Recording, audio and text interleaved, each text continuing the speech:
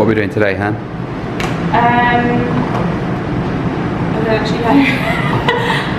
what are we doing today? We're going to IKEA to get a bed for the spare bedroom, right? Let's have a look. Yeah. Um, and then we're going to go to Yas Bay or Yas Marina for lunch. At some point today we're having a washing machine delivered, which is great because it means that I don't have to wash my pants in the sink anymore. And um, we've got a food shop coming later. So that's basically the day, right? Anything else you want to add? No. Good. We've just arrived at IKEA, you can see. And they have a barbecue outside with a proper barbecue menu. Actually looks really reasonably priced, isn't it?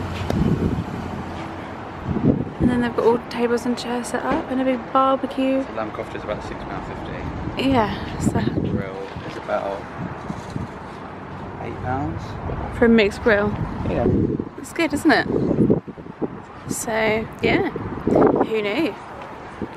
Right, let's go in and find a bed.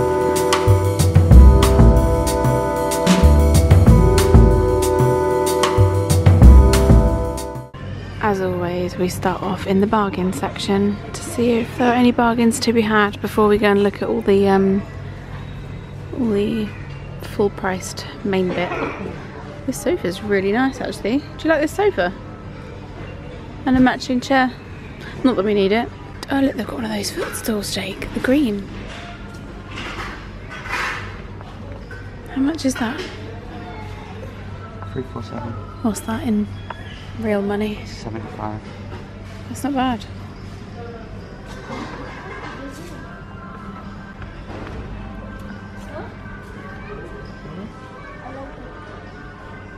That's good. Give it that. Yeah, two seater though. Oh, is it? Yeah.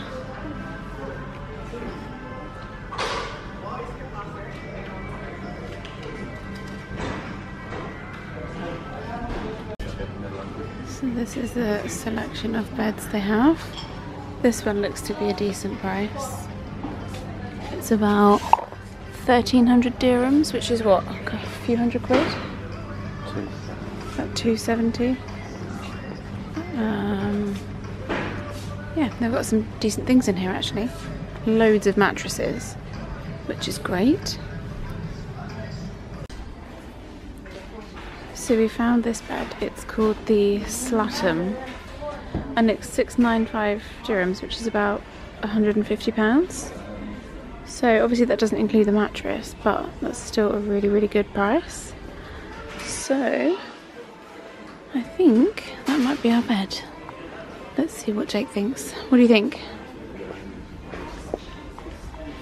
It's a good price, right? I think so. I think it looks decent as well. No, it's not going to get used a lot, so it doesn't need to be a. It doesn't need to be a fantastically comfortable bed. Yeah.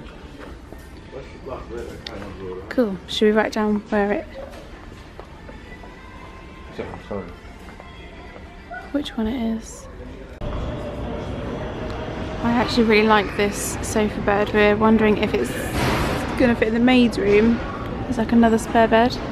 It pulls out into a double, which is really good.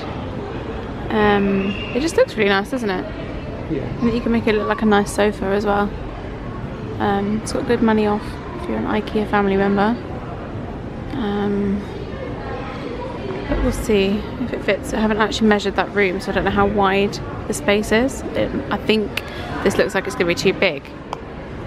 But we'll go home and measure it and see if it fits. So I think that was relatively successful. We found a bed um, that's a decent price for the spare room and a mattress in the as is section. Um, again for a decent price. Um, and then we also found a sofa bed that looks really good for the maid's room but we don't know if it's going to fit yet so we're going to measure it and see if the space is wide enough. Um, now we are just heading into the mall so IKEA is literally right next door to Yas Mall so we're gonna get a taxi um, to Yas Bay from here and then have a little walk around Yas Bay, get some lunch. Uh, the weather is absolutely glorious today. It is about 28 degrees and nice and warm. Nice breeze. Not a cloud in the sky. Yeah, there's a nice breeze.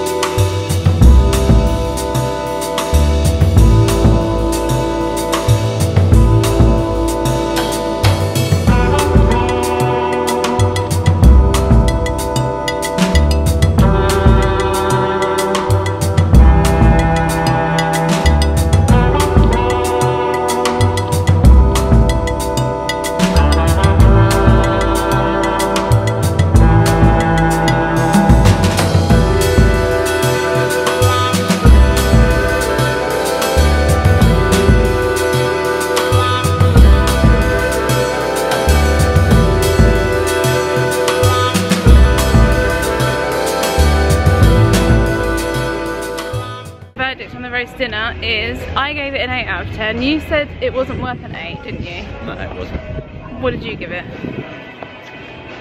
Generous 7. A generous 7, okay. Um, I thought it was really nice, but it might just be because we were craving a roast dinner. I've been thinking about gravy since I got here. Um, but there was a woman on a table opposite who had a roast dinner and then continued to cover it in tomato ketchup and Tabasco, which surely is the quickest way to ruin a roast, right? So, um, yeah, I would give it a solid 8 out of 10. I thought it was nice. The meat was really good. Um, 8 But yeah. definitely generous.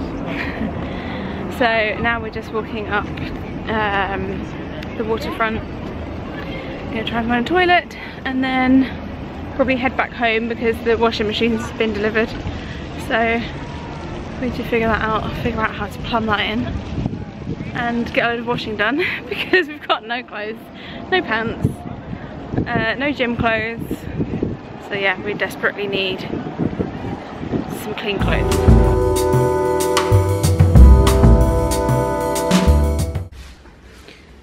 The washing machine is here. We um we just walked through the corridor and because we had an email earlier to say that it had been delivered. Um, so I expected to see it outside the front door and it wasn't there. And I was like, hmm, interesting.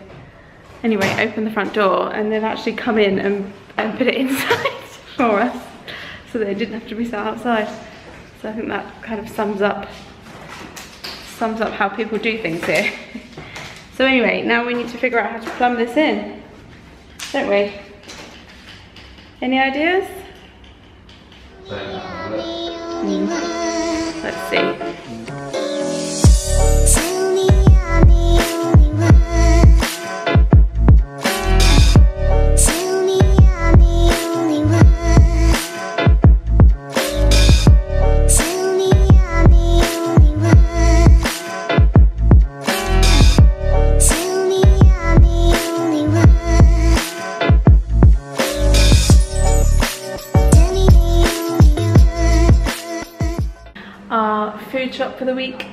Arrived. Um, we ordered from Spinneys, which is kind of like a common supermarket here, but they also stock um, Waitrose and I think Sainsbury's as well. Do they do Sainsbury's? No, just Waitrose. Oh, it's Kibsons do. Okay, so um, they also stock Waitrose food in there, which is really good. So I thought I would just show you a little overview of everything that we got and do a price breakdown of how much we paid for everything. I think altogether this cost us about 86 pounds, the equivalent of. Um, so yeah, I'll show you what, what we got. First thing is an avocado, which was 13 dirhams 25. Three kilos of red onions, which is gonna last us forever. And that was 17.50. We got a Waitrose um, half fat mayonnaise. That was 18 dirhams. We got rice cakes for some snacks. I've been having this um, for my lunch with some like sea salt and some cucumber. And that, I think is about 10 dirhams, so that's quite cheap. Yeah, 10.50. We've also been preparing for Ronnie to come home to us. So um, we've got six tins of Waitrose dog food. We're not sure what we're going to be feeding him, you know, on a regular basis yet, but he's had Waitrose before, so we know that it, you know, agrees with him. So we've got 12 tins. So one was 40 dirhams and the other one was 34 dirhams. And we also bought him some bones. These were 13.25, so I think that's quite cheap as well because they'll last us a while. I'm going to put Ronnie stuff in here. We've also got of his um, deli sausages. These are his favourite treats. So I'm glad that we can get those here. 10.50. Got a pack of six sorbets for 29 dirhams. And we bought um, a kilo of chicken breasts for 59 dirhams. So it's 59 for the both of them. So the bananas were 5 dirham 61 for four.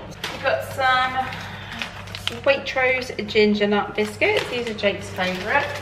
Ginger nuts, 12.75. Got some sides. So because we don't have um, an oven yet, we've been um, buying chicken for the air fryer. And then there's a lot of like deli selections here. So if you go to any of the supermarkets, they'll have like potato salad, quinoa salad, couscous, like loads of different selections of salads for the side. So that's what we've been doing whilst we haven't had an oven. So we got um, potato salad and quinoa, feta and pomegranate. So we'll have these with um, chicken in the air fryer. I didn't say how much they were. These were